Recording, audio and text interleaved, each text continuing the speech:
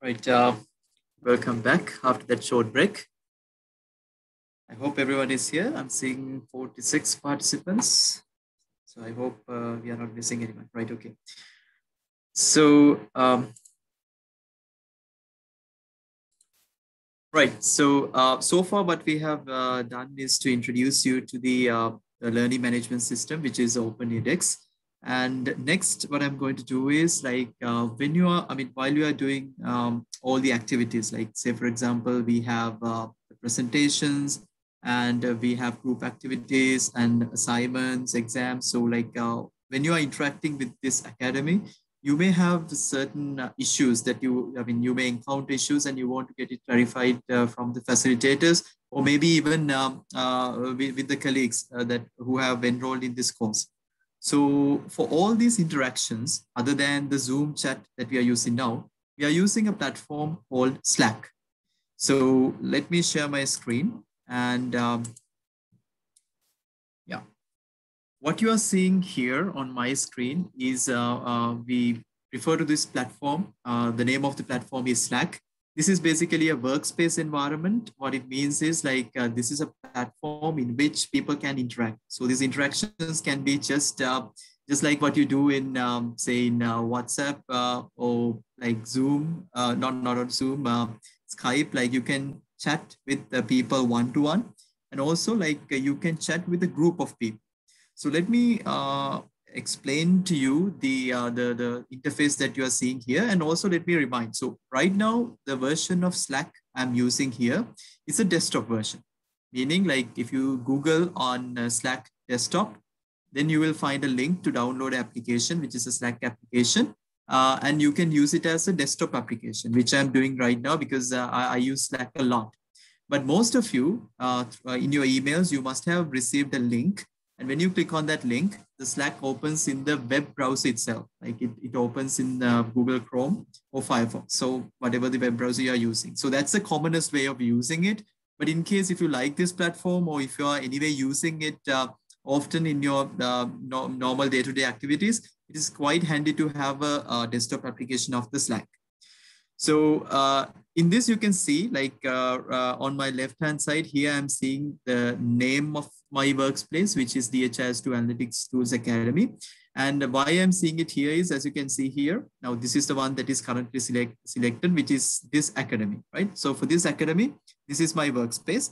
And if you are using Slack for, uh, say, you at your at your organization or for any other work, you can add multiple versions of Slack, as you can see here. So I, I have added uh, different other workspaces um, uh, for my work and other activities. So in this Slack, you are seeing uh, onto your left-hand side, you are seeing a menu here called channels, and then uh, uh, another menu called direct messages. So in this direct messages, uh, you will see the list of participants who have joined this workspace. So this list include all the, um, uh, the participants of this academy and the facilitators. So for example, if I want to uh, uh, drop a message, right, uh, to one of the uh, participants, just a private message, so that only that participant will be receiving, I can just uh, type it here. So um, what I can do is, okay, now Saurabh is here. I will just uh, message Saurabh. Hope Saurabh is here. Hi, Saurabh, right? So ideally when I do that, Saurabh, Saurabh should be receiving this message and he should be um, reply me back unless of course uh, he's sleeping. Are you there, Saurabh? Yeah, I don't know whether he's there. So if he's there, he should be uh, he should he should uh, reply me here, and I I'll be able to see the message. Right. So I don't know. For some reason, Saurabh is not uh, responding. I can try someone else. Who should I try? Um. Okay, I'm going to message Rajiv. Rajiv, if you're there, I'm going to type hi, Rajiv. And um,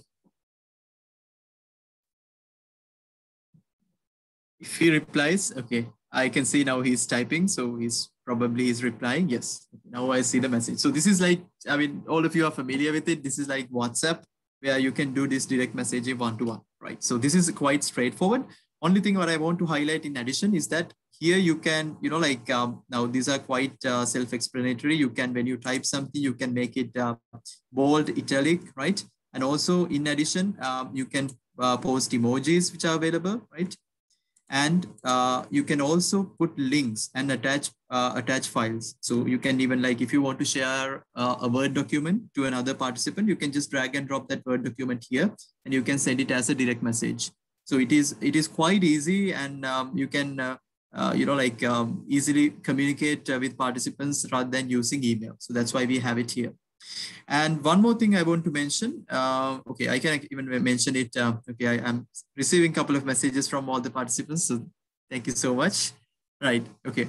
So uh, now that we are done with direct messages, I, I can just collapse it, right? Just when I do like this, all the direct messages will collapse. And uh, next, let me introduce to you what uh, we mean by channels. So basically, you can think of channel as something uh, like the group chats that you have in WhatsApp, okay? So uh, for example, we have a couple of channels. Uh, we have one channel for announcements where we'll be, you know, like if we have an announcement for all the participants, like say, for example, uh, that we are going to, you know, uh, uh, give an extension to assignment submission. I don't think we, we, are going to do that. I'm just mentioning, right? So if you do some, uh, some, if you want to communicate any important messages like that, we'll be making that announcement in this announcement channel, right? So um, here uh, you will appear the message. You, you will see the message uh, like, I mean, like whatever the announcement that we, that, we will do. And then we have uh, another one called introduce yourself. This I think most of you have already used. So uh, I mean, like I don't need to explain. So I, I think it's quite uh, straightforward on how to communicate in this. So you can see like uh, all of you have access to this channel, introduce yourself. And if you have not introduced yourself to the to the fellow participants, uh, so far, you can definitely type and uh, type in here and uh, give a brief introduction uh, of you. So, I mean, we see that uh, most of you have done it already. So thank you so much. Right. And then um, this one is just for us. I'm not going to open that. That is where we do our secret chats, right? The facilitators.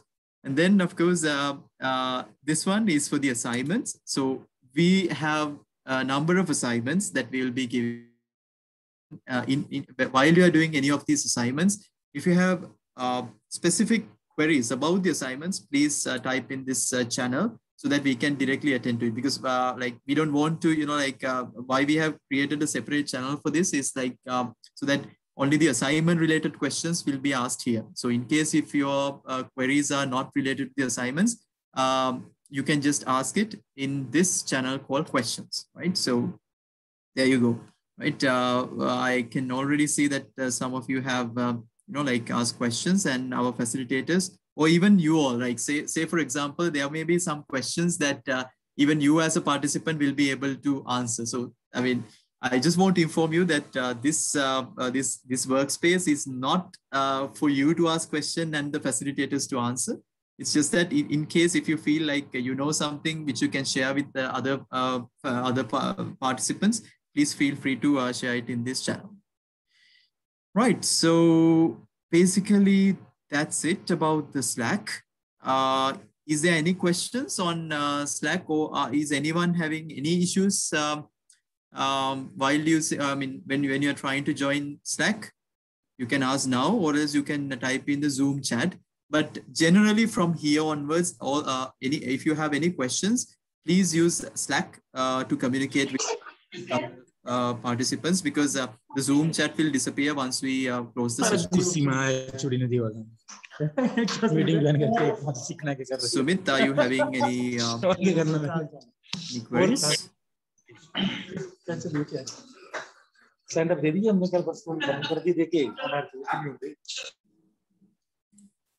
All right. Uh, so, are there any questions about uh, Slack? And also, uh, I saw there were a couple of messages asking about how to mark attendance. We will let you know how to do it shortly. Uh, uh, you have to do it in Open edX. Uh, how to do it, we will let you know. So if we don't have any queries, I think uh, I will just stop it there. And uh, yeah. So Next, what we will do is we will introduce you to the demo DHIS2 instances that we'll be using uh, during the academy. Uh, so for example, we mentioned that there, there will be some assignments and you will have to practice certain things that uh, uh we try to introduce during the academy. So to do that, you have to access the, uh, DHIS2 instance that we are using for the academy. Uh, yes, yes, Grant. Hi, Pamod. Sorry, I didn't. Um, I didn't realize there was an attendance thing. Would you like me to show you quickly where it is? Yeah, please, please do. Sure. One moment. Let me just share my screen again. Cool. Can you see that? Yeah. Yeah, brilliant. So uh, when you logged into the course,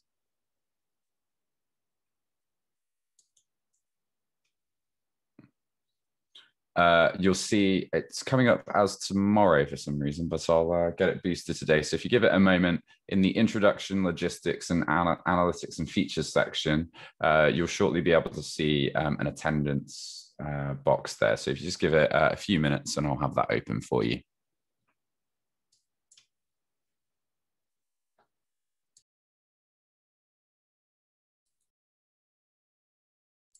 That's all. I'll pop a notification in the uh, um, Zoom.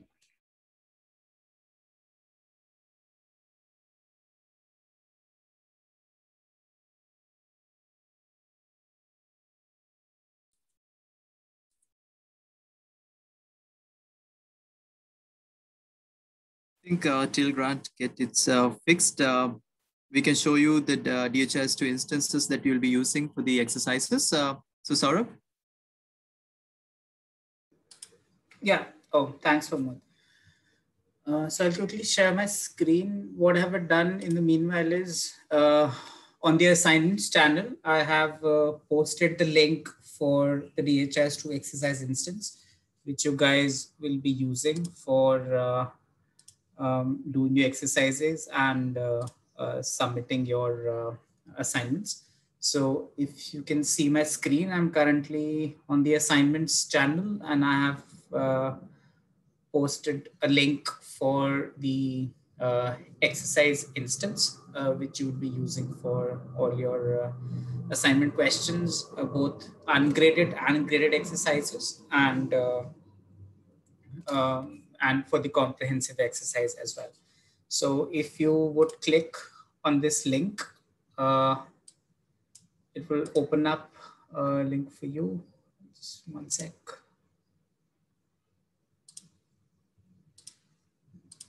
Yeah. So this will open DHIS2 instance for you. For this uh, academy, we're using uh, DHIS2 version 2.35. Uh, you'll see an option to create an account both on the right uh, top corner and also here. You need to click on that specific button and a form will open for you. Please add your first and last name, your username and password, which you desire to use uh, for this specific uh, uh, instance and the corresponding details. what it would do is it will create an account for you uh, in the system and you will be logging in using the same uh, account for the next uh, set of nine days that we have for the course and using the instance for all your exercises. Okay. Um, so this is what you can do uh, right now. And uh, once you create a users, we will uh, put the appropriate sharing settings within DHIS2 so that you have access to all the data which is available in the system. So it's essential that you create your uh, user accounts today so that we could, uh, after the academy, after the course session today, we will uh, enable the sharing settings on all the user accounts that you create today so that you're able to use this instance from uh, just try to log in. Okay i can access.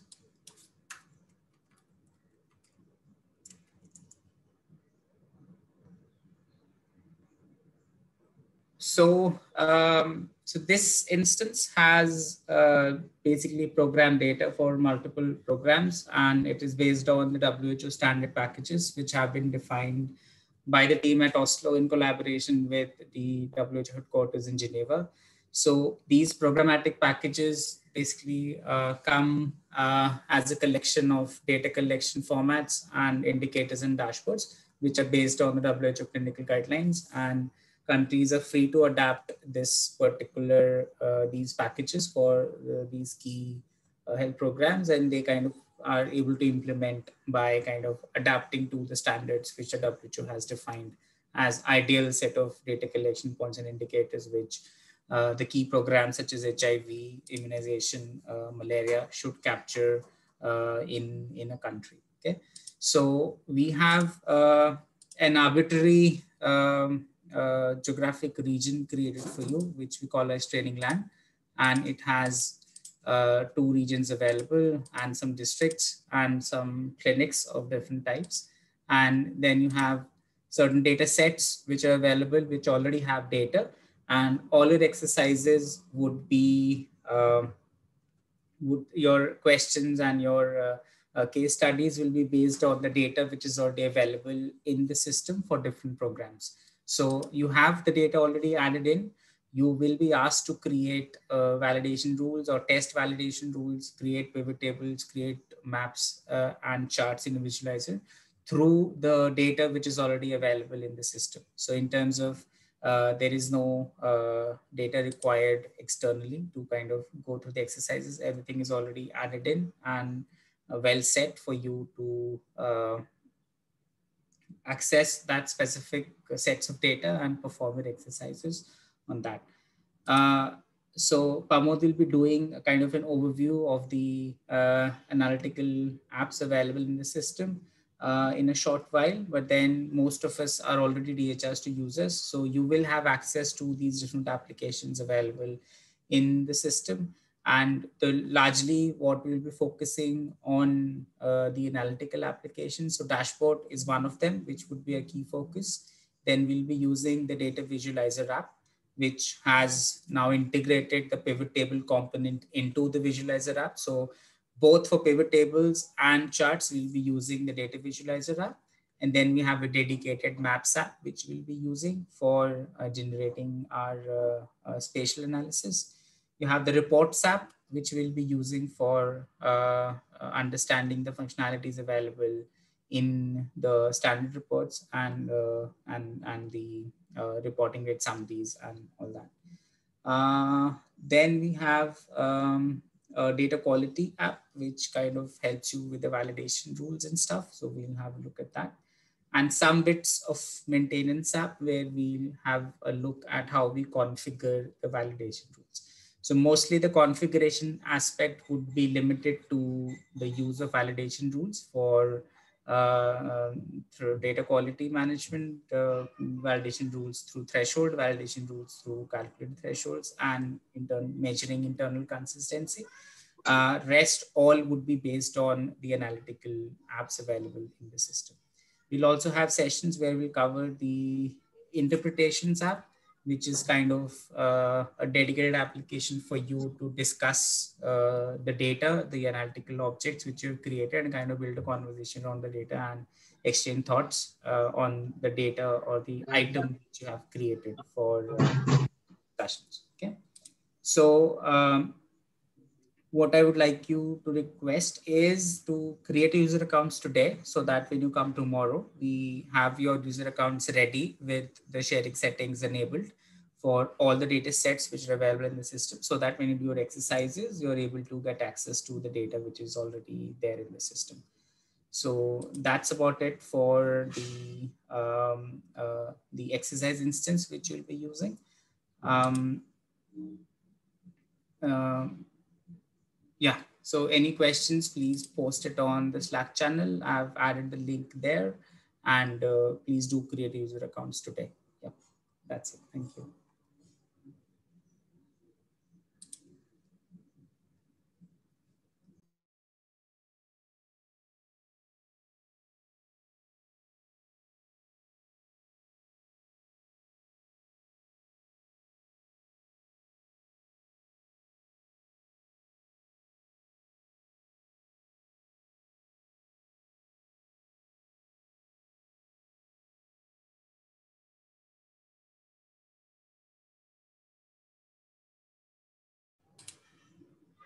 Grant, if you were able to give access to the uh, attendance unit on edX, we, we, we can show that. Yeah, sure. That's uh, open now. If you give me a moment. Okay, over to you.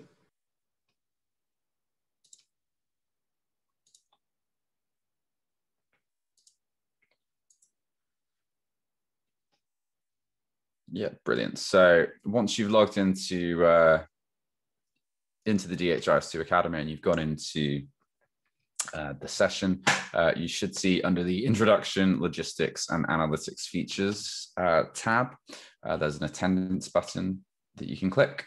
And in here, you just need to enter a word of the day. And the word of the day is test, all lowercase, and then just select submit.